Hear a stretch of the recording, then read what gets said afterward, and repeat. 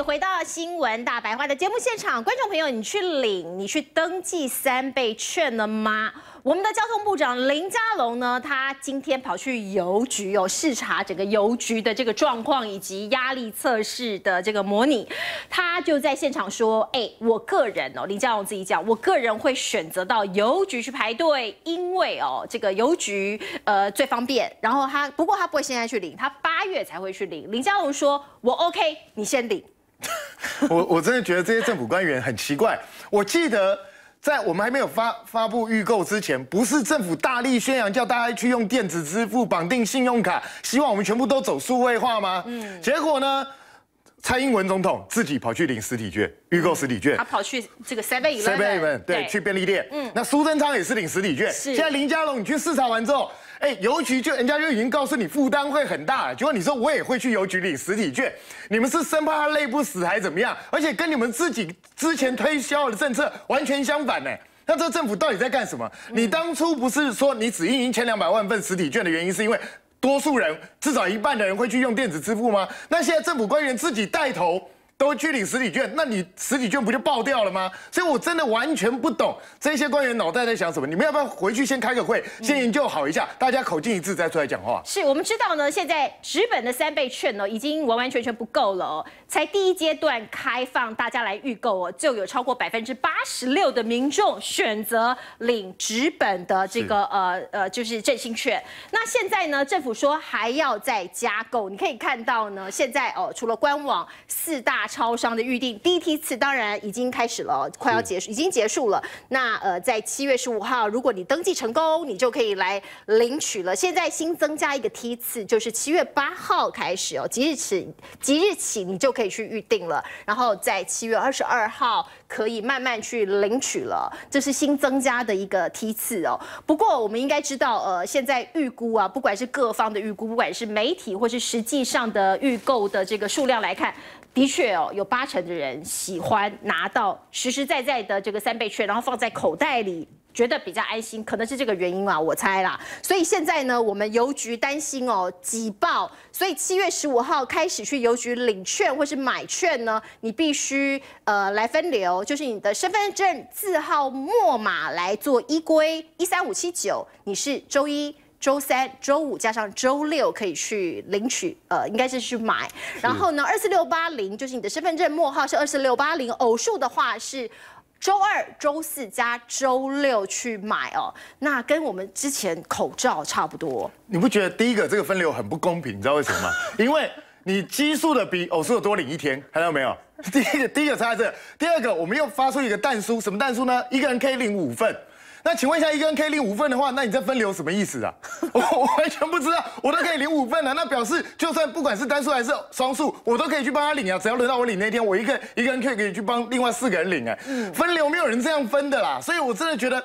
政府到底你在推行这些政策之前，你自己有没有试运算模拟过？有没有去兵棋推演过？到底会发生什么事情？如果都没有，只是随便几个大官在冷气房里头，哎，大家想我们这样做好啊，好就来做，那你不会觉得很可笑吗？真的拜托你们做在演拟政策的时候，是不是基本上？要稍微做一下整个模拟研究一下。是林佳龙已经喊出来了，我 OK，你先领哦，就感觉好像时光倒流到今年二月、三月的时候 领口罩，我 OK，你先领，是不是又要出什么脸书贴图了嘞？我不知道。不过呢，观众朋友哦，其实明察秋毫哦，三倍券可以用到哪里？之前我们做了很多的宣导，政府也出了很多的宣导，在官网上也有公告说高铁。台铁捷运票可以买啊，可是现在悄悄的变了，而且他没有告诉我们哦，这是有观众自己在呃这个三倍券的官网上发现的。本来高铁、台铁或北捷都可以买哦，就包括这个回数票啊、定期票啊，本来是可以的哦。可是现在他偷偷把这个高铁的。杠掉哎，他也没告诉我们，就偷偷杠掉。那偷偷来哦，好险被抓到了。所以现在呢，可以买台铁，可以买这个包括包括北捷，可是高铁好像不能用了。理由是什么？理由是说，因为购买回数票是储值行为，三倍券不能用。那经济部，你这个是在讲什么？有人说你在讲什么？听不懂，因为。这个北捷不算回数票吗？是台铁不算回数票吗？只有高铁算回数票吗？现在呢，高铁到底能不能用？哦，最新的消息是，高铁现在和这个呃经济部正在商量中，明天高铁才会做这个宣布。我自己私下揣测啦，应该是经济部现在还在跟高铁说服，希望他们可以接受。所以这个听起来很奇怪，这个顺序好像相反。正常来说，应该是你公布政策之前，你已经跟高铁商量好了吧？你应该是这样。那哪有说你先宣布真正，然后高铁说我不要做这件事，然后你再把它拿掉，这不是很奇怪吗？而且你知道这件事已经不是第一次发生，因为大家如果记得的话，一开始告诉我们说五十八家电商可以在上网预购，后来隔了两天，突然变八十一家。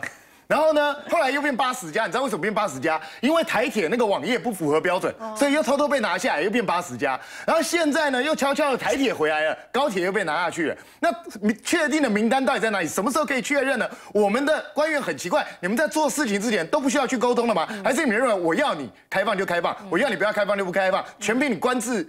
一句话吗？所以我真的觉得做决策不可以这样做，拜托赶快沟通，赶快告诉我们确定的答案。嗯，感觉好像是月亮偷偷的在改变，初一十五不一样哦，每一天可能它都会 update。如果你修正也没有关系了，我觉得我比较宽宏大量，你。公告一下嘛，哦，就是可能有苦衷，你修正，可是他是偷偷来，哎，他偷偷把它杠掉，或偷偷再拿回去哦，那都没有告诉大家。那万一有人以为可以哦，那到时候会造成很多的民怨或者是混乱哦。八百一十七万票哦，到底可以怎么样扣？扣到何时？这个我真的不知道。另外你可以看到呢，纸本券我们刚刚讲了，已经很吃紧了啦，很多人都说怕领不到，所以现在要加印嘛。本来截至七月八号哦。已经有这么多人，我们已经有将近一半的民众跑去预约三倍券了。大家其实动作很快的，可是没有想到这么多人，八百八十二万人开始去预购的是纸本。哎，这个还没有算去邮邮局这个排队。像我们林佳龙部长就说他要去邮局排队。那再加上邮局排队的这些人，邮局自己说啦，他说有这么多人去领，可是我们的行政部行政部门是跟我们讲，可能有八百万左右的人啦。因为我觉得邮局领取的人数可能预估也过高。高了，加起来就超过我们两千三百万人了，所以大概八百万人，所以这样算一算，加一加哦，至少也会有两千万人跑去领这个呃所谓的纸本呢，啊，这样纸本真的不够哎。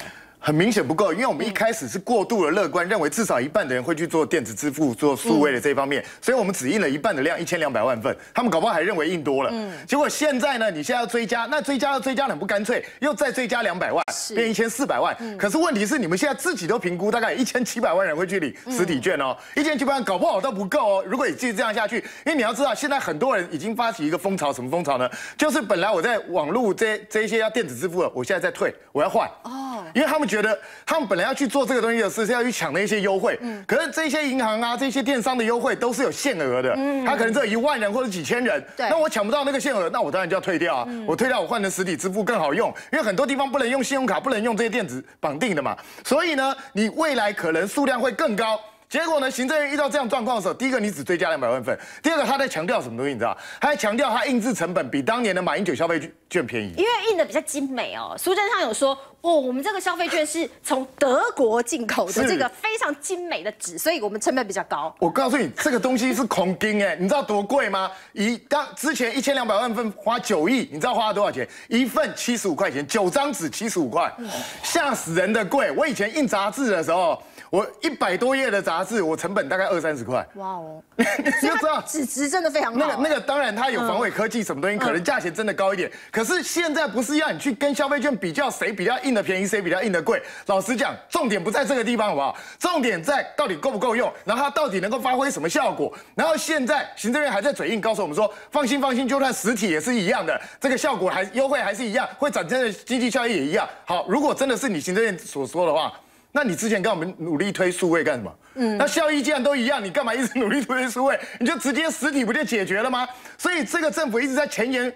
不知道后语，自己打自己的脸，我真的不知道你要看你们打到什么时候。是，我觉得现在这个感觉哦，政府有点左支右绌。可是呢，政府还是自我感觉良好吗？我打一个问号，因为他们有时候发言人呢，或是官员出来讲的话，我都会觉得说，哇，你还是觉得你自己好棒棒吗？来看一下哦，包括了这个林佳龙今天去视察这个邮局的所谓的演练的实际模拟的状况哈，他说这个邮局只要再吸收六百万到八百万的排队人潮，大概。十天就可以把这个压力给结束。哇，他们真的好像感觉期待的太好了啦。哦，那呃。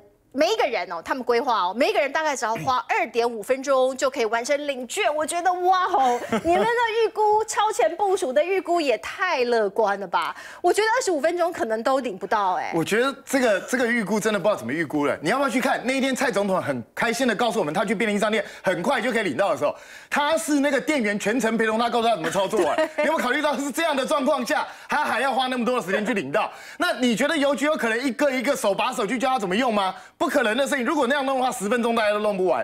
然后呢，你看现在你们严重低估，他说只要六百到八百万。好，我就算当你说的六百万好了，十天等于一天要处理六十万人。那全台湾只有一千两百九十九家邮局，很多是在深山里头干嘛的？你真正比较大的邮局大概剩一千家，你一家六六十万人。那一天六十万人，你一天要处理多少人？你确定邮局有这个能量去处理吗？所以邮局自己的预估都不敢预估这么顺利，他说至少二十天呢。是，所以我觉得你们的预估都过分，讲这些乐观，到最后累的是谁？反正也不干你们是，累还是邮局这些人，算他们倒霉吗？反正领导或是长官讲了哦，底下的小兵、基层人员可能就很苦了。我们就看到邮局有有一个类似靠北邮局这样子的一个全民开讲的一个不公开的网站哈。那我们得到的一些讯息，这些都是邮局的基。基层人员在上头写出来他们的心声呢，为什么他们会写这个呢？因为呢，现在担心就是如果你去邮局排队，那。你知道一天就是六十万份嘛？是。那有些邮局在，譬如说台北市啊，人口比较密集的地方，可能它发到五万份，maybe 一下就被领光了。是。那我再去排队，我排了半天，我拿号码牌，我无法领到这个消费券，他们就会担心说，哎，这个振兴券如果没领到会有民怨，所以他们想出了一个鬼点子，我称之为鬼点子哦，就是你可以拿出你的健保卡，还有你的一千块，然后交给邮局，说我寄卡寄钱。明天再来领，所以现在基层的这个员工就说：“你寄卡代管，还有预收现金，这是违反金融业内的内控原则。哎，你这是违法吗？你知道金管会要不要出来讲一下话？你金融业你有规则，不是你想怎么搞就怎么搞的。现在他叫你。”预收现金，还有寄卡代管呢。那总经理动动嘴没有事，我们基层动动手有事呢。违法叫我做，好，很多人都在讲说这个寄卡代管跟预收现金，这根本不可以。你必须要把这个事情搞清楚，规则搞清楚吧。寄卡是要钱有问题，万一我说我给你一千块，我说我没收到怎么办？是。那邮局人员要不要下跪啊？你记不记得那时候领口罩的时候，有一个药局的药师，因为还错了这个健保卡，那位阿姨就很生气，要这个药师下跪。那当然那是个案没有错，可是万一又出现这样的混乱的状况，要基层来担吗？基层现在非常害怕哎。其实我必须讲，一个生产线最简单的原则就是，我每一个部门人只做一件事情，我不做其他的事情，这样速度效率是最快。你现在等于又给他们增加一项工作，你除了要去。直接那人家预购卡的，你要拿卡给拿拿那个消费那个三倍券给他之外，对，你现在又要一个收现金，还要去收这个。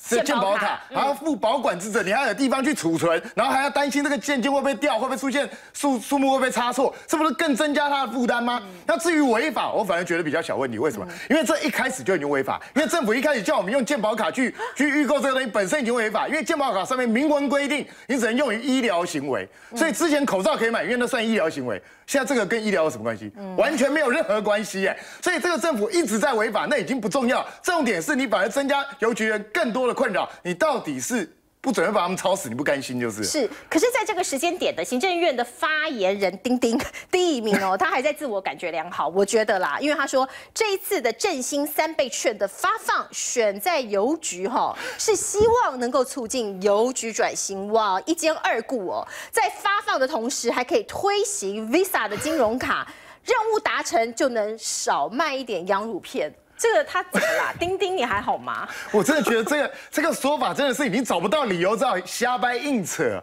拜托你。邮局转型是今天才开始吗？是因为这一次三倍券才开始吗？邮局一直在转型，他们羊乳片已经卖很久了，他卖很多其他杂七杂八东西已经卖很久了，还有蜂蜜，他 Visa 卡也推很久了。那你说这一次希望他同时在推 Visa 卡？请问一下，那么多人已经排排队在那边怨声载道的时候，你本来估计我就算你一个二点五分钟好了，然后我办一个 Visa 卡要多久时间？我请问你一下，你办你有去办过卡的人都知道，那个十几分钟都不止哎，你是准备生怕那个龙排的不够长吗？一定要看它排到天边你才甘愿吗？所以这根本就。就是一个自己你找不到理由了，自己随便瞎扯东拉西扯，扯一些东西来打，拜托不要再讲这些干话，做一些实事吧。嗯，所以呢，我觉得呢，也许啦，他们真的把事情想象的太美好了，因为毕竟现在在防疫期间，因为台湾的防疫很好啊，那我们的行政院或是我们的政府官员就说，我现在讲什么，我一定对啊，我有 八百一十七万的民意支持我啊，可是哦，有错的真的还是要讲了，包括科批就讲说，据我所知哦，三倍券的作用就是收买人心，为什么科批会这么说？来听听看。我在的中央有他的政策，他他做了就做了。我的我的我的我的知识知道说啊，就好过我好过不多，但是它也是个收买人心的作用。如果有效，那他们以前在骂马英九在骂什么？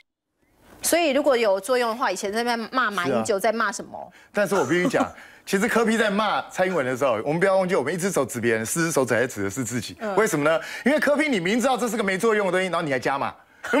对，台北市敬老卡可以加一千。是，台北市很多老人就因为这样去绑定了，所以你也认为它没作用，那你也跟着加嘛？那是怎样？是要启用，要收买人心，大家一起来就是了嘛？所以我必须说，做一个。不管是地方首长也好，中央执政的也好，大家凭良心做事，真正能够帮助到民众的事情才要去做。这样收买人心，真的没有什么太大意义。是，不过丁丁又来了，行政院发言人哦，针对柯文哲的批评哦，他说，其实我们现在发这个振兴券呢，不是在计算对 GDP 帮助有多少哈。他这个第一句我就觉得怪怪的，而这些钱是在反映在小商家身上，我不懂他在讲什么意思，是一些小商家可以振得到振兴吗？另外呢，丁丁在。昨天也讲了三倍券，好领 好刺激，目标已经成功了耶。他觉得他们已经达标了，自己给自己拍拍手。可是我们就可以点出很多问题。第一个，在邮局领券不一定可以马上领哦，因为你去排队排了半天，有可能今天已经发完了，有有可能哦。所以这好领吗？很多人质疑了。还有高铁突然不能用啦，我们刚才一开头就讲，一下能用，一下不能用，到底要怎样？哦，这个也好用吗？也是一个问号，并。呃，非计算对 GDP 的帮助好刺激啊！我们不是振兴券就是要刺激 GDP 的，现在又讲说不是要刺激 GDP，我都觉得我脑子也搞混了。另外，使用期限只有五个月，因为到年底你就不能用，这有刺激到吗？到底刺激到了什么？这是我们要问政府的，请他们给我们一些答案吧。另外呢，呃，两岸的危机是不是增高了？是不是升？